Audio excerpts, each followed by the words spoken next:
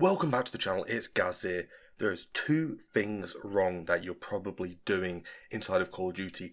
Number one, you're probably playing Warzone 2, because obviously that is a bit stale at the moment and nothing's really happening. And number two, if you are playing on Warzone 2 and you jump on the train, you might not actually get off it. So what you're seeing in the background is gameplay for the train inside of Warzone 2 on Al Mazrah, and basically 50-50 chance you're going to be surviving on this train. And when I say that is, there's a super weird glitch in the game right now. You can jump on the train, you can loot the train, but as soon as you jump off it, the train kills you for some strange reason.